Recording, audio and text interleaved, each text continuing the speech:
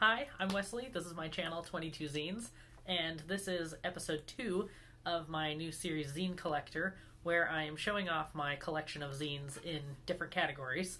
Uh, today's category is what I would just call just for fun zines, which are things that don't really fit into one other category. They're not exactly how to's, they're not exactly uh, literature, they're not exactly whatever. Yeah, maybe I should have put the miscellaneous category later, but I didn't, so here we go.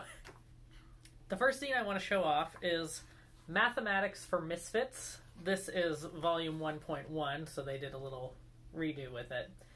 Uh, and this basically is a hilarious sort of goth, heavy metal, satanic take on math, rewording cla- classic or, you know, word problems with more Satanist or um, heavy metal or goth themes.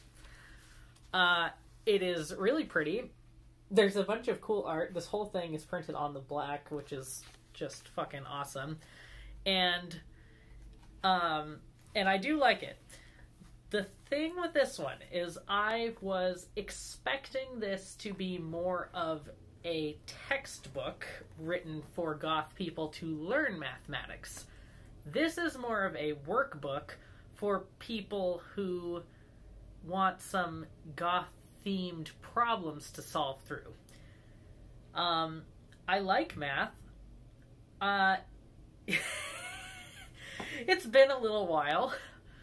Um, I wasn't that good at it to begin with, so this isn't entirely helpful. It's more of a fun read than an actual how to guide on learning different aspects of mathematics. Just to give an example of this, um, here's one page that um, I'm going to be reading off where this says Two researchers at Heavy Metal University de- determines that the word Satan is used an average of 27 times throughout the albums of heavy evil evil heavy metal bands with a standard deviation of 9 times. As an added bonus, their data follows a normal distribution. What is the probability that a typical evil heavy metal band uses the word Satan at least 25 times on their record?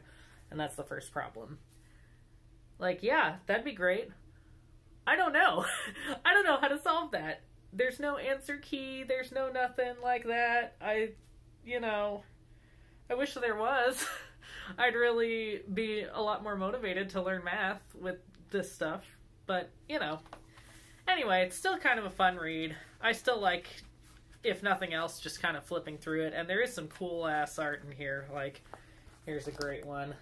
Um, if you are more mathematically inclined, then you might enjoy flexing your skills with Mathematics for Misfits. Um, I believe that it's a collaboration of authors and the uh, creator or whatever just goes by Mathematics for Misfits. So it's pretty easy to find. And I got this from Quimby's pretty recently, so it is in print. Alright, the next just for fun zine that I have is Billy McCall's A Zine Zine Proposition, which is. You know what? I'm just going to read the back. Is that lame? I'm just going to read the back because I feel like it describes it way better than I ever could. Alright. Sebastian Case is a rich douchebag who runs a multi million dollar company. Missy Ward is his loyal and hard working assistant. But what happens when they go to Las Vegas? That's right, they get drunk and fuck for like three days straight. They both regret it, but keep doing it. She gets pregnant, and on the last page of the book, they get married. Will Sebastian ever trust another woman after his first wife was such a bitch? Will Missy ever shut up about the fact that she's just a small town girl from Texas? And what about Tim and all his anime?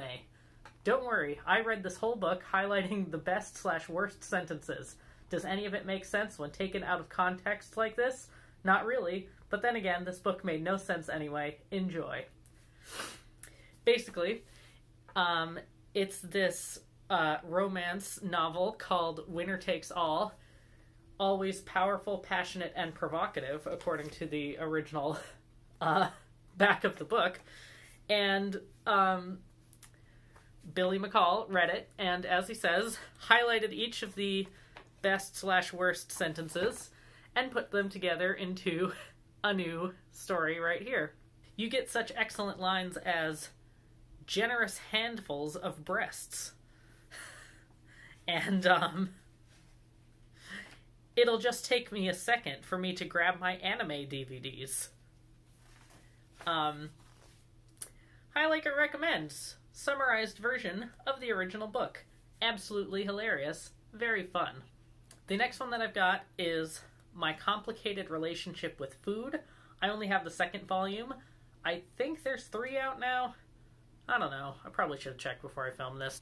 It's basically just chock full of a bunch of opinions on different types of food written by someone named Zach. Uh, Bunny Project, I believe, is the zine project name, according to this. Um, I actually got this just in a little trade. I'm pretty sure it's still out and about, though. Just to give you an idea of what it's like, I think it would be easiest if I just read a little piece of it here.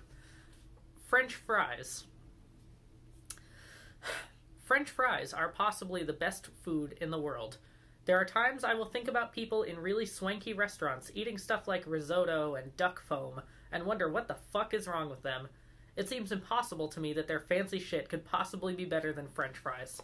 Look, I know I don't have a refined palate, and yes, I would probably enjoy more foods if I actively forced myself to eat bougie garbage on a regular basis.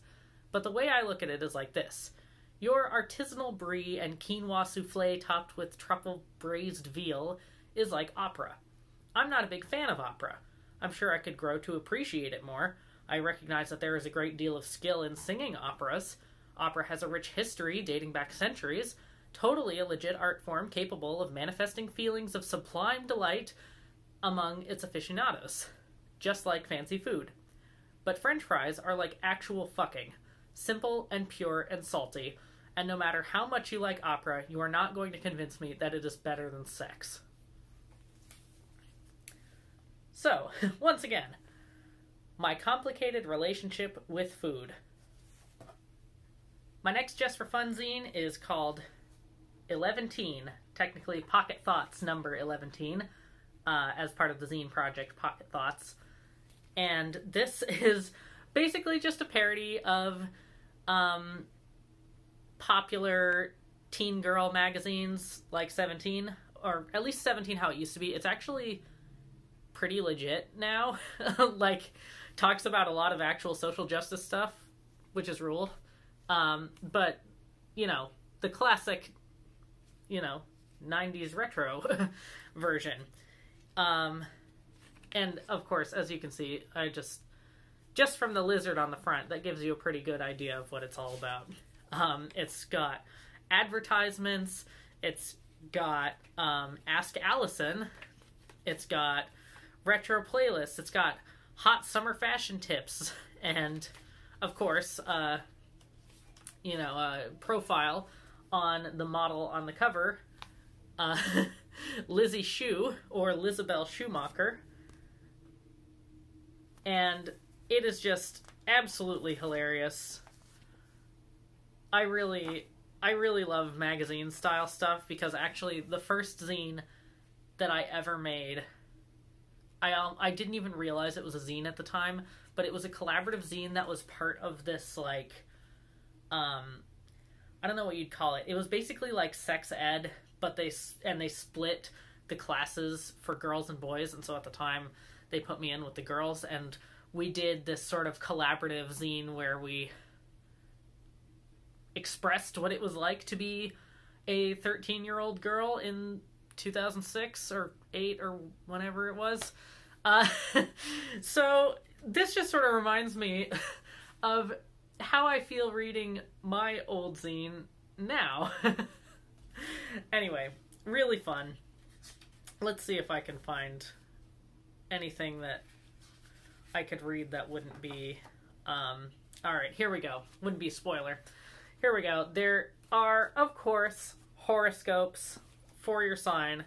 And uh, if you're a Libra like me, then you get to hear it right now. Anyone else, you got to go buy this. All right, Libra. Positivity is on your plate with a side of new career prospects. No one is saying you have to sleep with your boss to advance the position in the company, but if he smells good, drives a hot car, and he will buy you some new shoes, don't pass up a good thing. 11 Pocket Thoughts. And the last scenes I have in this category are a series called Thrifty Times, and it's a series of zines from a local zine store, which is great because I know all of the places that they mention in this zine, you know, except for the foreign issue, which of course is the one that I'm holding up right now. Um, it's a thrift store zine. It talks about um, their favorite hobby. Uh, this is by uh, Sarah Macdonald, by the way.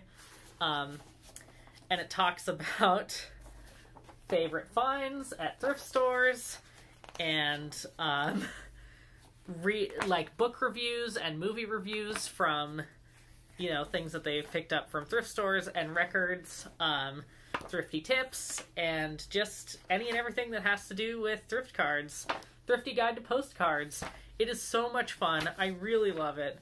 Um, and there are comics on the back of this holy shit i'm obsessed with comics comics are the best so what's really cool about thrifty times is that um, the creator has a zine subscription option right now.